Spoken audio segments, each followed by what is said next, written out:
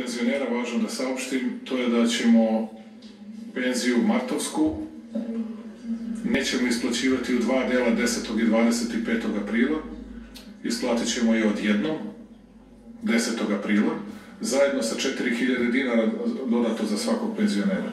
Dakle, penziju u celini dobit ćete odjednom i to ne drugom daljem datumu, već u prvom bližem datumu, plus 4000 dinara linearnog povećanja za svakog penzionera.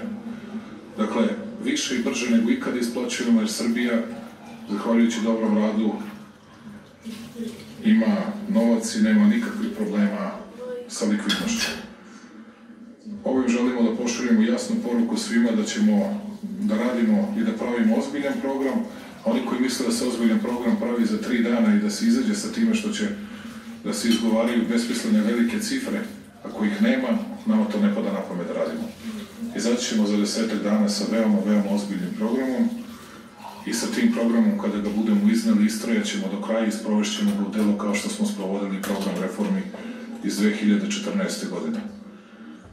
I mi verujemo da ćemo i ove godine i po visini bruto domaćeg proizvoda biti jedna od tri najbolje zemlje u Evropi i po prevazilaženju težine ekonomskih posledica sa kojima ćemo se suočavati, a da će ih biti, bit će ih nesumnjivo.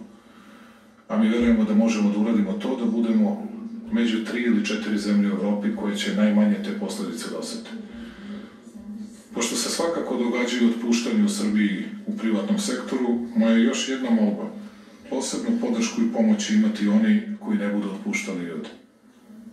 Mi ne možemo da primoravamo privatnike, mi ne možemo da teramo i ne možemo da maltretiramo privatnike, ali da znaju da na značajnu i veliku državnu pomoć mogu da računaju samo oni koji ne budu otpuštali ljude. To je način da ih motivišemo da zadrže radnike, da ih zadrže tokom ovog kriznog perioda, da bi ti ljudi mogli da izdržavaju svoje porodice, a država će te kompanije i tekako pronaći dovoljno načina da ih pomogne.